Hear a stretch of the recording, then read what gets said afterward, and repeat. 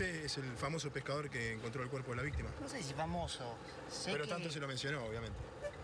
Puede ser, sí. No, salí a divertirme nada más que un rato con mi hija que me lo pidió y por lo general siempre frecuentamos de venir a este arroyo y casualmente de vez salía a comer un helado, quiso venir al arroyo, vinimos y se dio con que justo nosotros dimos con el ¿Cómo cuerpo. fue el momento en el cual lo, lo encuentran? ¿Qué vieron?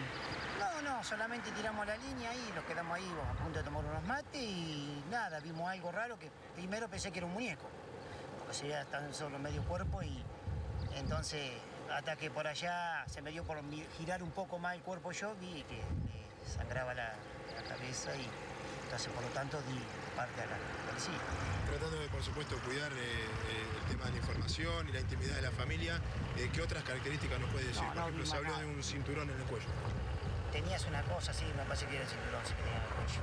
Sí, estaba. ¿Y qué pasó en ese momento? Ustedes eh, encuentran el cuerpo y ¿qué hicieron? No, no, no, se encontró el cuerpo y se hizo lo que se tenía que hacer, lo subieron al camión y ya después de ahí en más se me hizo tarde a mí para declarar una cosa que me preguntaron y nada más. ¿Usted en ese momento se da cuenta que era Jorge el hombre que estaban buscando? En el momento que cuando lo sacaron no lo vi, porque después como estaba boca abajo no, no se sabía si podía haber sido otra persona. ¿Pudo ver, pudo ver los golpes? ¿Estaba golpeado? Y estaba golpeado. sí. ¿En dónde? Eh, yo lo que le vi primero cuando lo vi en el arroyo vi que le emanaba de la nuca un poco de sangre y después este, cuando lo sacaron vi la parte del ojo lastimado. pero Después de ahí en mano. ¿Y las ropas? ¿Estaba vestido? No, estaba semidesnudo, o sea, le faltaba la remera, estaba con pantalón jogging, pero no le faltaba remera y calzado. Porque más que, por supuesto, de haber declarado en la fiscalía y usted es parte importante en la investigación ahora. Sí, ahora vengo, no sé si me hizo venir el fiscal ahora, así que no sé, me voy a presentar a ver para qué, cómo sigue el caso, no sé. ¿Usted cómo vive todo esto de, de haber encontrado Sí. el cuerpo de este joven que lo estaban buscando hace tantos días? No me cae bien, no me cae bien, pero es algo que para la familia se cierra algo.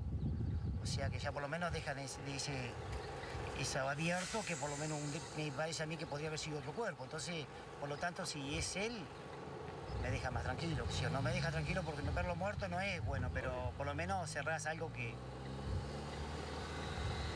Nada más. ¿Qué cree que fue lo que pasó con él, más allá de No, que no, sabemos que lo no, asesinaron? no, ¿Por qué no, lo hicieron? No lo puedo decir, no, no, eso ya queda fuera de... No, no, no puedo opinar en ese caso.